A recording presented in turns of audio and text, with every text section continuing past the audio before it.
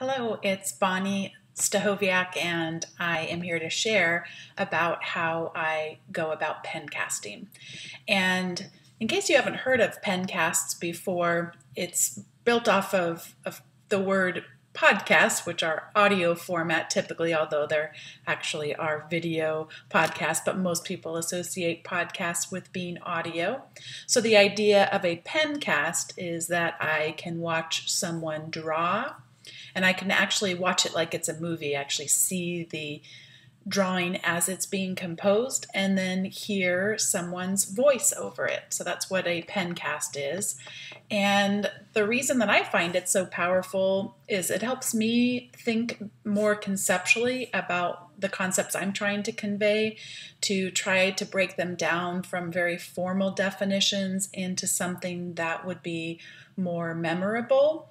It helps me with sequencing, it helps me with mind mapping a class, mapping concepts together. There's all sorts of benefits I find as an educator, and my students really, really appreciate Pencast. They talk about it regularly as something that helps both struggling students as well as those who are excelling in a class. They will attribute it as one of the primary reasons that they are able to comprehend the information and then able to apply it. And I just showed you a couple of examples of drawings. I'll be showing a few more as I go, but one of the things I recently started to challenge myself with, and again, this talks a little bit just about how I put together classes about a year ago, as of this recording, I was asked to teach a class for the first time. And whenever we do that, there's just a, a, difficulty of figuring out what is not essential that's perhaps prescribed by a textbook or by experts, some kind of professional association. And I'm a firm believer that we get ourselves into trouble when we try to cram too much into our classes. So, this is a drawing of everything that I convey in this 15 week class, everything that we talk about, everything that we learn about. And I was able to, through doing this, help see how everything connected with the other concepts, and it all came down to this concept of value. Everything in the course, everything in this drawing, everything in the textbook, all maps back to here. And what this drawing allowed me to do was just think of the course more holistically, and then what parts I needed to teach, and then come back to a whole.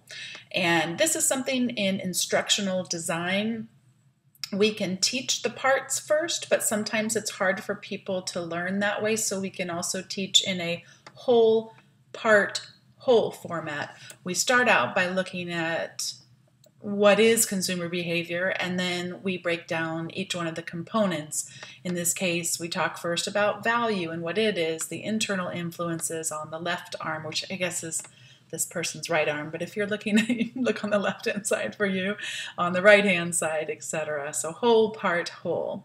And the same drawing that I have here goes into, of course, a lot of detail as we go, but once we've done the whole, then we break it down and start talking about some of the parts of the whole, in this case, internal influences, two kinds of value, and so on. Let me talk a little bit about some of the tools that you will need if you would like to start pen casting. First off, you will need a tablet, a the one I'll talk a little bit about the one that I use, but but there certainly are multiple ways to go about creating a pen cast. You'll need some kind of a stylus. A stylus is something that will let you write on a tablet. And you'll need some kind of an app that will facilitate two kinds of recording. One kind of recording would be the actual recording of the pen strokes as you make them, and the second kind of recording would be some kind of audio recording. The tools that I use, I use an iPad Pro I use an Apple Pencil and I use an app called, some people say Doceri, some people say Docari. Uh, you can call it what you'd like, but it's a really excellent app to create pen casts from. I'd like to talk just briefly about the Apple Pencil. It is, I've been using styluses, stylized, stylized, stylized, I don't know the, the appropriate. Uh, how we talk about multiple stylized styluses. Um, anyway, I've been using these devices for years now, and the Apple Pencil is like none other I've ever used. You take it out, you take it out, you start writing. It just works. It's amazing. And it writes so smoothly. It is, I actually find it, which I've never been able to say this about any stylus before, I find it more useful than writing with pen and paper. And I could never say that before. Speaking of which, I've had a long history with pen casting. I used to use what are called smart pens. And smart pens are where you're actually writing on a notepad, a physical notepad. Oftentimes, the pa- paper itself is special in some way, and there's a camera inside of the pen, and the camera therefore knows where it is in relation to the special paper that you're using. I stopped using it a few years back. First of all, because the of advances like the Apple Pencil, it's just so easy to do it right on the device but also they just haven't been very good about their outputs. And by that I mean, yeah, I could create it, but as far as sharing it, could I put it in a video format that could be put on YouTube? The answer was no. And I just got really frustrated with dealing with that proprietary format for sharing that they had that kept changing over the years and wreaking havoc in my life. When you're going to prepare to create a pencast, the first thing that you'll need to do is to figure out what is it you're going to draw. And I typically do this uh, actually with a pencil and paper. I say a pencil because I'm I oftentimes need to erase as I start to think about what are the main topics that I need to talk about, and then what are the ways that I can make the ideas I'm going to convey visual. When students take exams, for example, they will tell me that they see these images in their mind as they answer the question. And an example of this would be the top right hand corner. These are the different factors of production, and they'll say that they see that cloud and the sun and they're able to remember oh those are natural resources and then they see the computers and the buildings and the money. Oh that's capital. It's the pictures that they see and and the way in which they're drawn and even the location in which they're drawn. And you can tell pretty easily on this one there's three main things we're going to talk about. There's just a definition of economics in the upper left hand corner. It's both a financial and a social system. You can see that we're going to talk about these factors of production. Actually there's a little bit of just the definition of economics in the top right that i squeezed in there. And then at the bottom here the three goals that all world economies economies share. And again, I encourage you to do this just on pen and I mean you could do it on on your tablet as well, but I just kind of like the feeling of sketching and getting a sense of what I want to do before I actually pick up any devices to draw it for the I'll have a drawing, I'll know I'll know where I want things to be, approximately how large they'll be, and then I actually do the recording. Now, the recording, it was really hard for me to understand how this worked inside of Doceri, and I'm speaking specifically of that. There are some apps that record you while you're drawing and talking at the same time, and as someone who has done this for a really long time, I can tell you it is extremely hard to draw and talk at the same time. I, I don't know if it's just me, but it's it's very, very hard. So one of the things I like about Doceri, but wasn't completely evident to me at first, is that the first thing you do is draw, and then you play back your drawing. Think of every pen stroke or in this case, Apple Pencil stroke that you make being recorded by a video camera. And yes, friends who teach uh, digital cinema, cinema, yes, I know that that's not what that's called anymore, but bear with me. Every one of those keystrokes is being recorded, and then you play it back later. So I, in this case, I would draw everything that you see here, and all of that would be recorded. Now, one of the things, of course, you have to think about while you're drawing is what order are you going to be talking about these topics later on? And you can see here that first I'll be talking about globalization as one of the changes in consumer behavior. And so I would draw this top part of the globe, I would draw the bottom part, and then, oh, number two, oh, I'm going to talk about technology. So I'm going to draw this part next. Oh, got to draw this economics part next. And then, oh, got to draw this demographics part yet. So it does take a little bit of time sometimes to think about the order of the drawing that you'll be doing.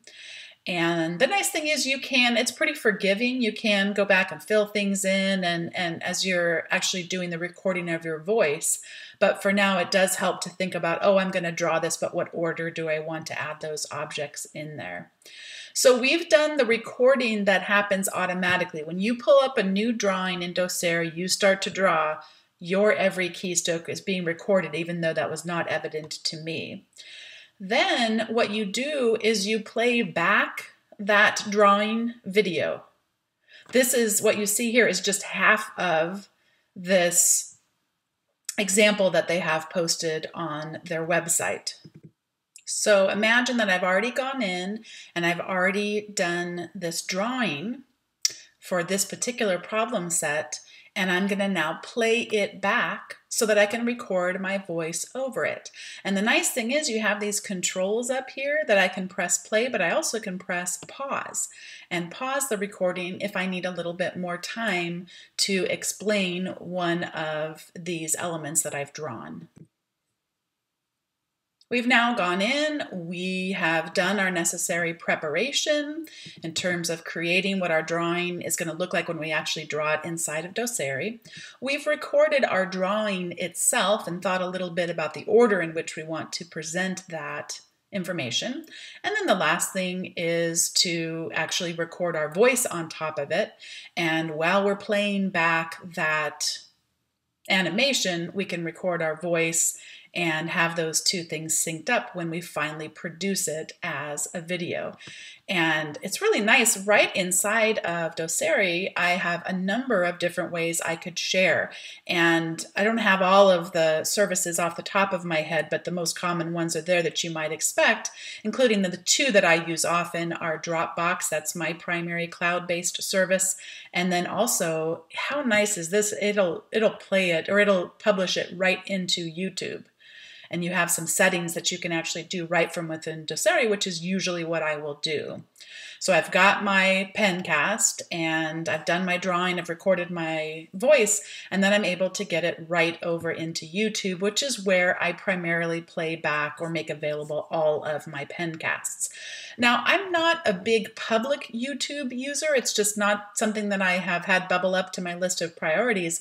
I've got a ton of videos, but they are almost all unlisted. Unlisted videos are ones that don't show up on my channel. If you go and search for me as far as my YouTube account, you will not see it on my channel. You wouldn't see it if you went up and looked for pencasts about consumer behavior, or, or in this case, this is a different pencast for a different class. You wouldn't see it ever in the search results or ever in my channel. The only way you would ever see this video, this pencast, would be if you went to this link down here. And so, yes, I am realizing as I record this that some of you could pause the recording and go type in these exact letters and find the mystery of why I've drawn Mr. Potato Head for this particular pencast. But to me, that having that tight of security just isn't necessary. What I do is I take this YouTube video, I use the embed code from inside of YouTube. It's right under the share button, share and choose embed. And then I can use that embed code in my learning management system, and the students are none the wiser. I mean, yes, they'll know that they're watching a YouTube video, but they see it all from within our learning management system. And that's what the embed codes allow us to do. As I wrap up this video on pen casting, just a couple of other thoughts that I want to share with you or techniques that I use. One is that I've mentioned about my own process of drawing pen casts, but in many of my classes, it's actually part of their assignment to draw the pen cast. So they watch on their screens the video being drawn by me, and they're expected to draw it on pen and paper. And then they actually, in our learning management system, it's super easy for them to just click to share a media from their webcam and they just record themselves holding up their pencast drawing. So there's a little bit of accountability in there that they've actually watched the pencast. That is something I do not do in upper division classes, but it is something I do. And actually, have been thanked by students for that little bit of accountability. They say they probably wouldn't have done it if I didn't instill the importance. And it's a very small stakes assignment, just something to encourage them to have the discipline of watching the assigned pen casts each week. So, and then the actual drawing of it helps them be better able to retain than if all they did was passively watch it. And then one other thing related to passively watching it, my best pen casts, and I'll say I'm still nowhere as good as I'd like to be, but my best pen casts require some sort of interaction with the student. So they're drawing along with me, but I might say in this particular one, have a look in the lower left hand corner at that shopping bag. I'd like you to think about a company that you have strong relationship quality with and write the name of that company right to the left of that, right to the left, over to the left of that shopping bag that you see there. And then pause the recording and write down three reasons, three factors that you think contribute to that strong relationship quality with whatever company came to mind. Those are my best pen casts where they're able to make it relevant to them, to their lives as we go along, and they're not just either passively listening or even passively drawing. It takes it a little step further and then I'm able to go and look at their responses to some of the questions that I pose and bring their answers back into the class in some way. So that would be a challenge I'd have for you. Again, I'm not exactly where I would like to be yet either, but ways of making these pen casts more interactive. And then the last thing I want to share with you is that we cannot have pen casting or whatever endeavors we are doing for creating more creative content. We cannot have perfection as our aim. And I'm sharing this screenshot of a video by a man who I admire so much, Mike Wesch. He's an anthropologist, and he made this incredible video called The Sleeper. And it's a he says it's a true story about a student who slept in my classes for years. This is what happened when I confronted him about it. It's just a 3-minute video. And then right after that in the description he says, "My first animation." And that frustrates me so much to think this video is amazing if you go and watch it. And I think that's his first one. I've been pen casting for years and my drawings are nowhere where I would like them to be. I can tell you they've come a long way, but I can tell you I never would have started pen casting, let alone got slightly better at it over the years I've been working at it, if I hadn't allowed myself to be vulnerable and to say, no, I'm not the best artist that there is, but have seen market improvement, and the students don't care. They love when we're human. They love when we have faults. They love when we are willing to risk our own egos to connect with them in some ways. And by the way, as a side note, that's one of the reasons when I sneezed one time when I was recording a pencast, I decided not to go back and re record. And the number of students who commented how hard they laughed, they'd email me or they would tell me in class the next time they saw me. That's what our students are looking for. And I'd encourage you to bring that into your own pen casting. And if you go about creating a pen cast or you already have, I would love to hear from you and have the opportunity to share some sample pen casts out there with people in the teaching and higher ed community. And just thanks so much for checking in on this How to Pen Cast video.